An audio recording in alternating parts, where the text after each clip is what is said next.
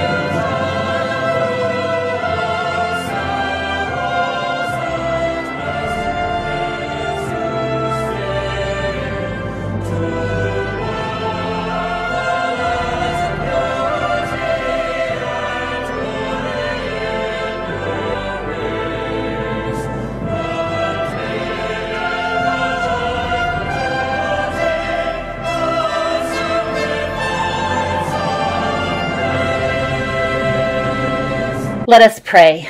God of grace and God of glory, come into our gathering together. Be present in the songs we sing and in the prayers we raise. As we strengthen faith this day, deepen the roots of our commitment that we may learn your calling upon our lives.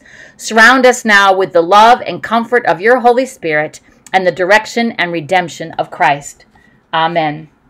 Our Old Testament lesson comes from the book of Hosea, chapter 1, verses 2 through 10. When the Lord began to speak through Hosea, the Lord said to him, Go, take to yourself an adulterous wife and children of unfaithfulness, because the land is guilty of the vilest adultery in departing from the Lord. So he married Gomer, daughter of Diblaim, and she conceived and bore him a son. Then the Lord said to Hosea, Call him Jezreel, because I will soon punish the house of Jehu for the massacre at Jezreel, and I will put an end to the kingdom of Israel. In that day I will break Israel's bow in the valley of Jezreel. Gomer conceived again, and gave birth to a daughter. Then the Lord said to Hosea, Call her Lo Ruhamah, for I will no longer show love to the house of Israel, that I should at all forgive them. Yet I will show love to the house of Judah, and I will save them, not by bow, sword, or battle, or by horses and horsemen, but by the Lord their God. After she had weaned Lo Ruhamah, Gomer had another son. Then the Lord said, Call him Lo Ami, for you are not my people, and I am not your God. Yet the Israelites would be like the sand on the seashore, which cannot be measured or counted. In the place where it was said to them, You are not my people, they will be called sons of the living God. Our epistle today is from Colossians chapter 2, verses 6 through 19. Therefore, as you received Christ Jesus the Lord, so walk in him rooted and built up in him and established in the faith, just as you were taught, abounding in thanksgiving. See to it that no one takes you captive by philosophy and empty deceit, according to human tradition, according to the elemental spirits of the world, and not according to Christ. For in him the whole fullness of deity dwells bodily, and you have been filled in him, who is the head of all rule and authority. In him also you were circumcised with a circumcision made without hands, by putting off the body of the flesh, by the circumcision of Christ, having been buried with him in baptism, in which you were also raised with him through faith in the powerful working of God, who raised him from the dead. And you, who were dead in your trespasses and the uncircumcision of your flesh, God made alive together with him, having forgiven us all our trespasses, by canceling the record of debt that stood against us with its legal demands. This he set aside, nailing it to the cross. He disarmed the rulers and authorities and put them to open shame by triumphing over them in him. Therefore, let no one pass judgment on you in questions of food and drink, or with regard to a festival, or a new moon, or a Sabbath these are a shadow of the things to come, but the substance belongs to Christ. Let no one disqualify you, insisting on asceticism and worship of angels, going on in detail about visions, puffed up without reason by his sensuous mind, and not holding fast to the head, from whom the whole body, nourished and knit together through its joints and ligaments, grows with a growth that is from God. And finally, our gospel, Luke chapter 11, verses 1 through 13. It came to pass that as he was praying in a certain place, when he ceased, one of his disciples said unto him, Lord, teach us to pray, as John also taught his disciples. And he said unto them, When ye pray, Say, Our Father which art in heaven, hallowed be thy name. Thy kingdom come. Thy will be done as in heaven, so in earth. Give us day by day our daily bread, and forgive us our sins, for we also forgive everyone that is indebted to us. And lead us not into temptation, but deliver us from evil.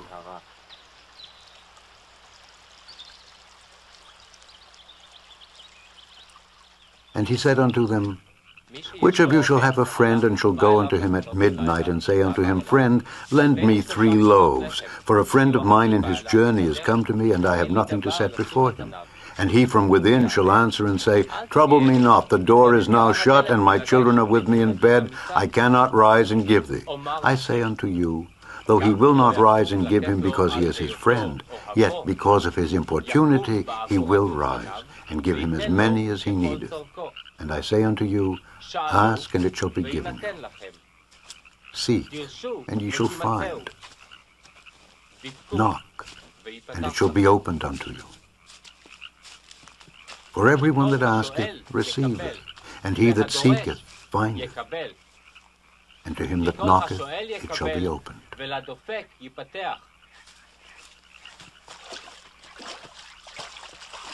If a son shall ask bread of any of you that is a father, will he give him a stone? Or if he ask a fish, will he for a fish give him a serpent? Or if he shall ask an egg, will he offer him a scorpion? If ye then, being evil, know how to give good gifts unto your children, how much shall your heavenly Father give the Holy Spirit to them that ask him?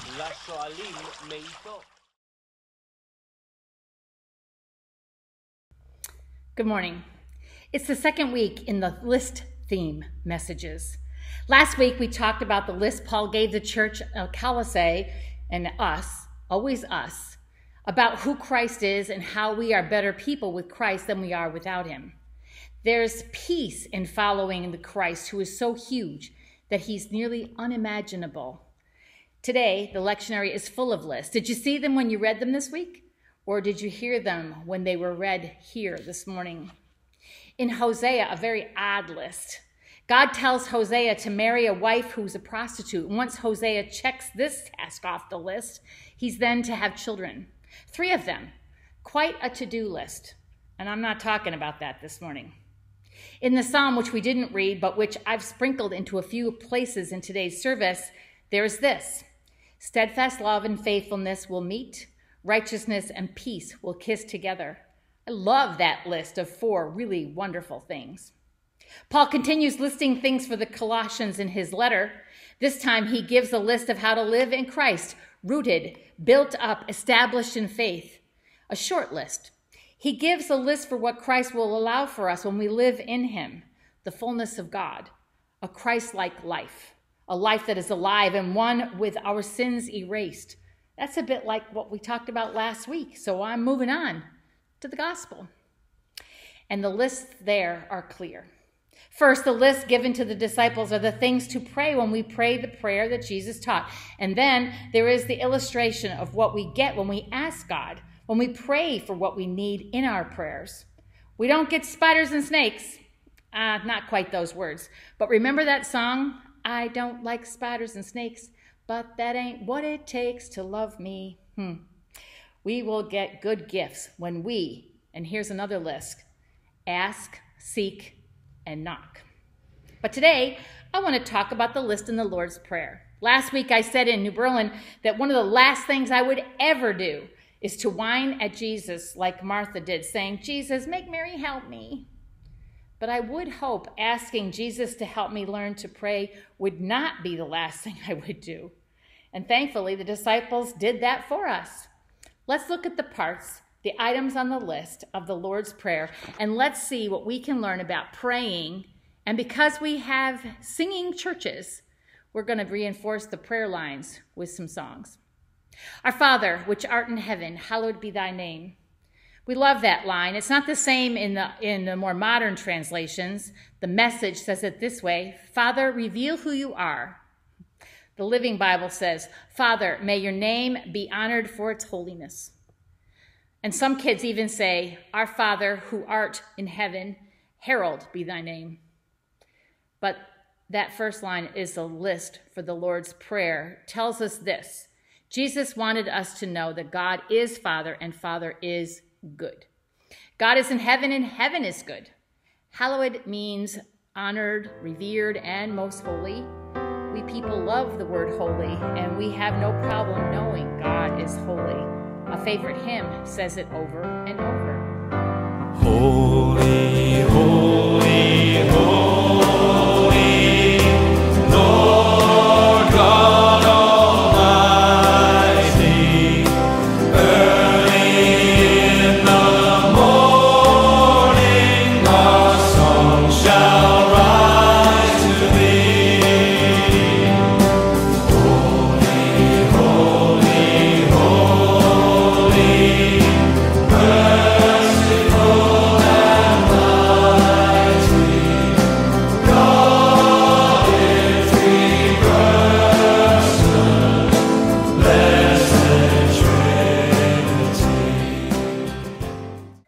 the next part that Jesus tells his disciples pray this next part, your kingdom come.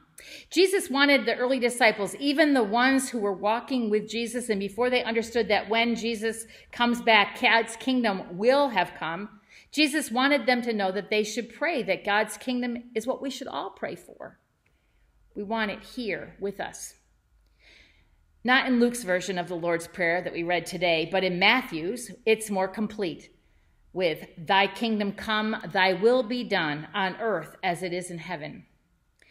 If we would all do God's will, what a world it would be. Life on earth would be like heaven if we all tried to do what Jesus would do. If we loved God and loved people, God's will would be done and earth would be nearly heaven like. Let's put that on the top of our to do lists. If we consciously set out each day to deliberately do one thing like Jesus would do, to do one thing that would show people a glimpse of the goodness of God's kingdom, to do that one thing on top of all the other ways we live and breathe already, a difference would be noticed right away. 30 plus people doing 30 plus kingdom things. Think about that list. And as we sing this next little hymn, we see clearly the second list in today's gospel reading. When we seek the kingdom of God, when we ask God to show us the way to be kingdom bringers, when the, then the door will be opened and we won't even have to knock that hard. Seek ye first the kingdom of God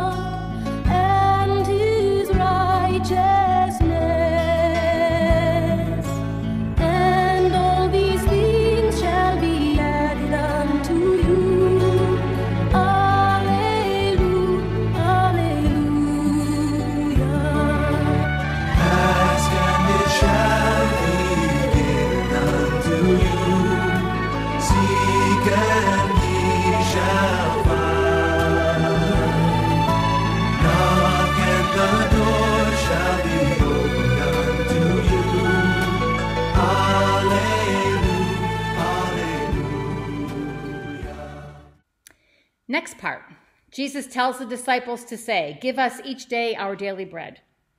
Remember the Israelites traveling in the desert for 40 years? Every day, they got a portion of manna that would be equal to their needs for the day. It's like a holy Nutrisystem diet. They got what they needed, nothing more. And if they tried to get more than enough for a day, the extra turned to a wormy mess. God provided the daily bread for the 40 years. Jesus is the same. Jesus is God in the flesh. He reminded the disciples that this prayer would be what they needed. He reminded them in the gospel today that God would supply the bread that they asked for, just like the neighbor supplied the bread when awakened in the middle of the night. Persistent prayers get answers with God's goodness, not snakes and scorpions. So when we ask, God will supply because He is what we need for our daily bread and any number of other things. And we have a song for that. All I Need Is You, verses 1 and 3.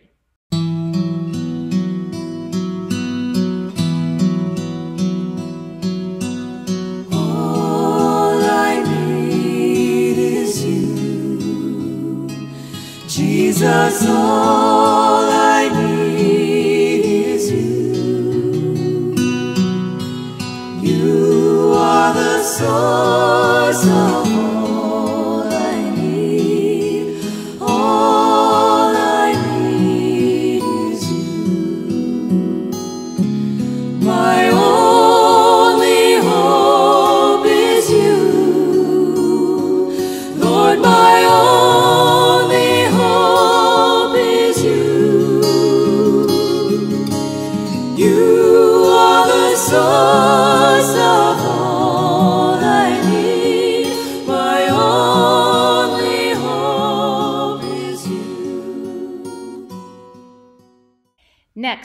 big one, the harder one, probably the hardest thing in the whole prayer.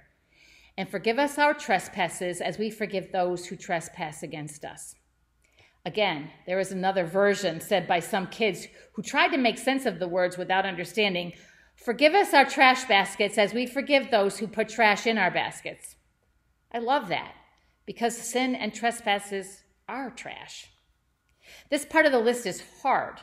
We are pretty happy to ask God to forgive us for the sins we commit, although I wonder if you are like me and that you say, Forgive me for the sins I've committed this week.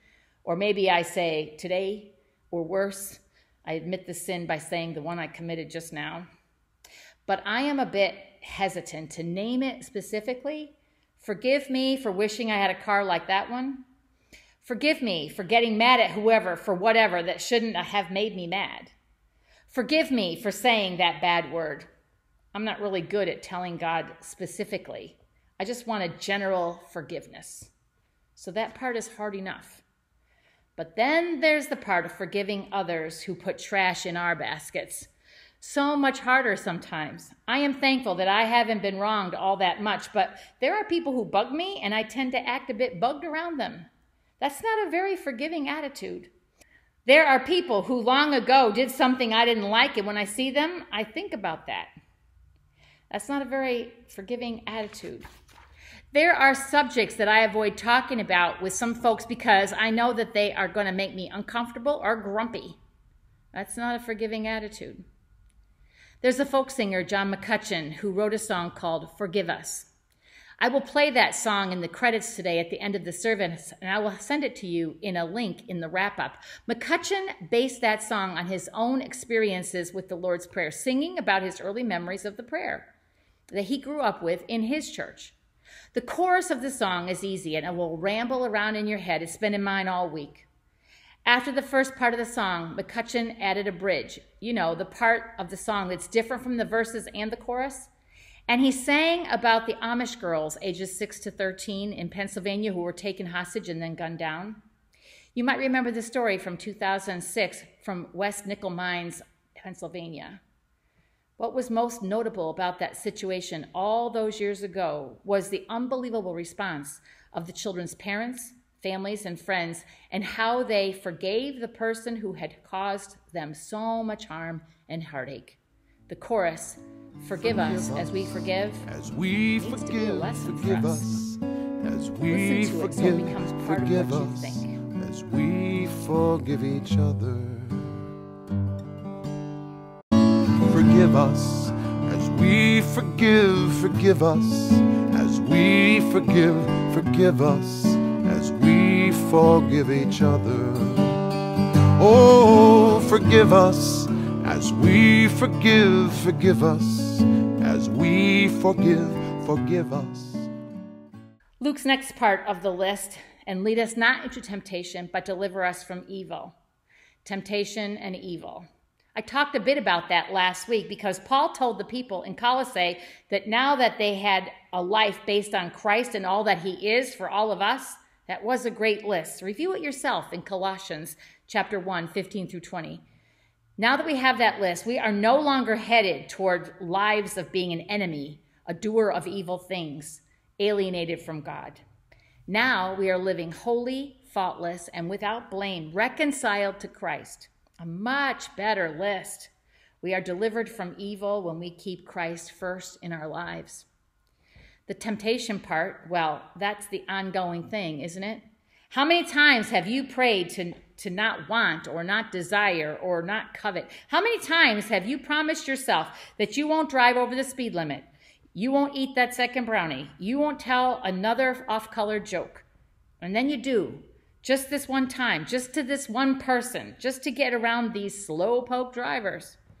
We are tempted on every level for all kinds of things that we know in our hearts we should avoid.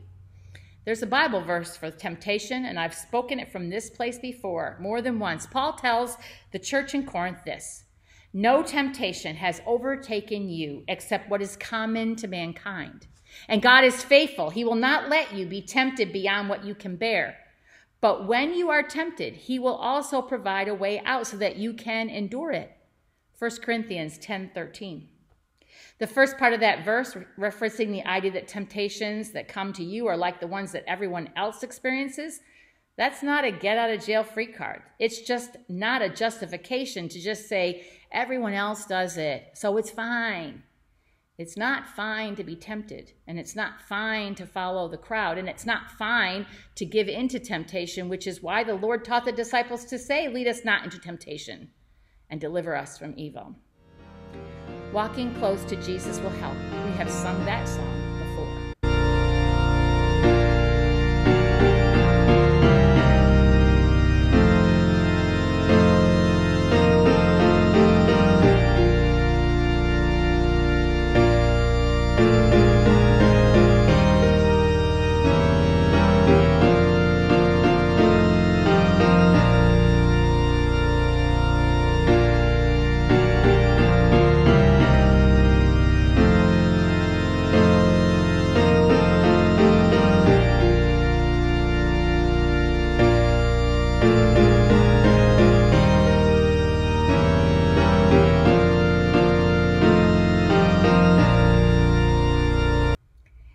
last part, another list. For thine is the kingdom, the power, and the glory forever. That is a good list kingdom, power, and glory. The Lord's Prayer ends like it begins, naming the Lord as Father and saying, Holy is his name. That's giving glory. And then in the end, there's the restatement. This time, we are naming specifically that God is the creator of all things, the kingdom. We recognize that God is sovereign and rules over all things, and that's the power he has. And finally, because he created everything and is in charge of everything, we should give him the glory, the accolades, the praise. Our prayer ends with the list that shows that God is everything to everyone all the time. We praise God by actively naming that the very things we often desire rightly belong to God alone. We will finish up with one more praise song in a minute, but for now, review that list of things Jesus told his disciples to pray to God about. And we should remember this list when we pray the Lord's Prayer, filling in our own thoughts and words around the skeleton list that Jesus gave his good friends. That will make it a good, good list prayer. Let it be so. Our final song speaks of the kingdom, power, and the glory.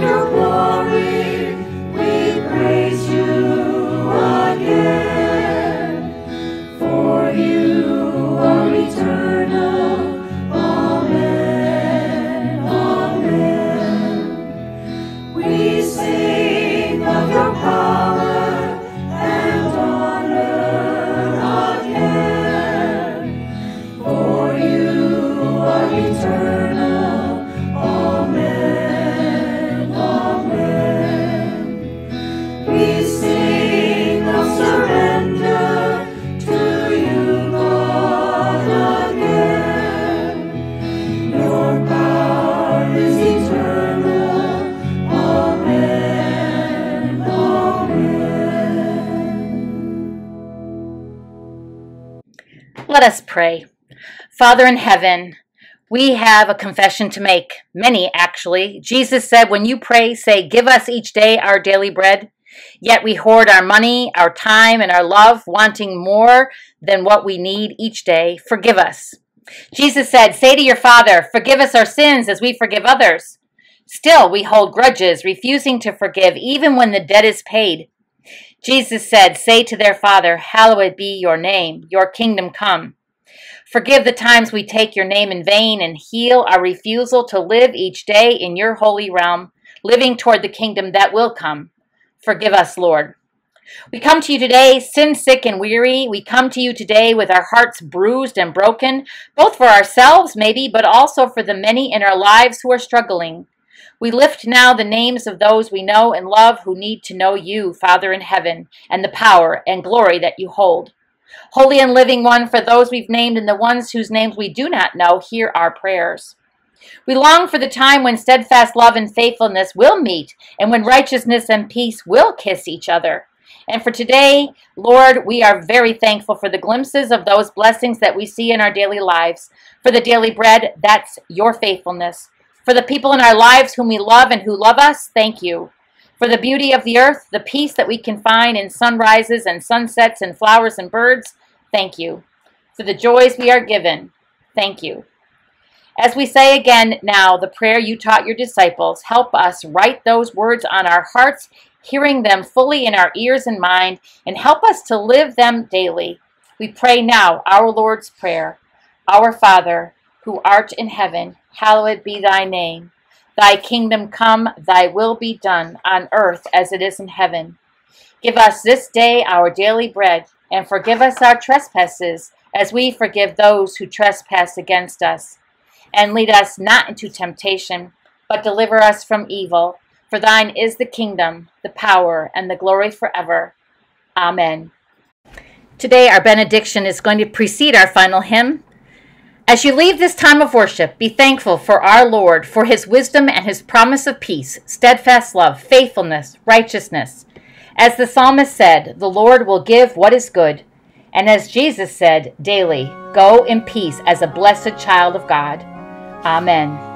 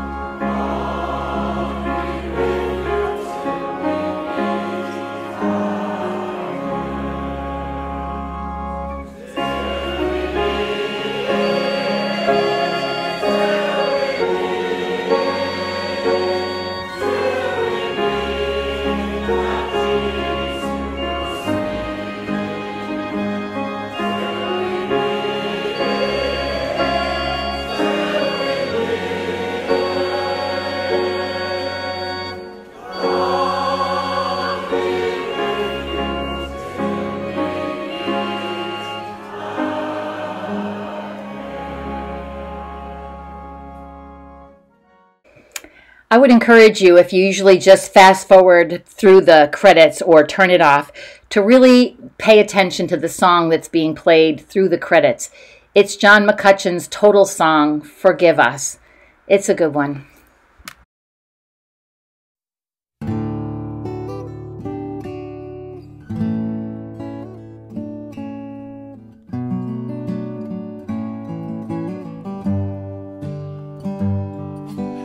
Little town that I was born in, early every Sunday morning we'd drive past those fields of corn that led us to St. James. Planted in those hard oak pews, your neighbors sitting next to you, we said the words each of us knew as well as our own names. Our Father, who art in heaven, holy is your name. Thy kingdom come, thy will be done. Give us this day our bread. Then came the hardest part, the one that troubled every heart, those haunting words of mystery that long have followed after me. Forgive us as we forgive, forgive us as we forgive, forgive us as we forgive each other. In the long years since those days, my soul and heart have often strayed, but still I bow my life to pray those sweet,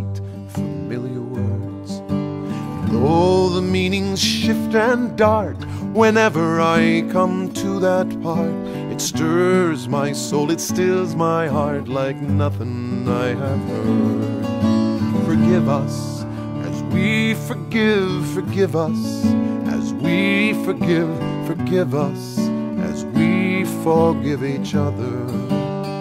Oh, forgive us as we forgive, forgive us we forgive, forgive us.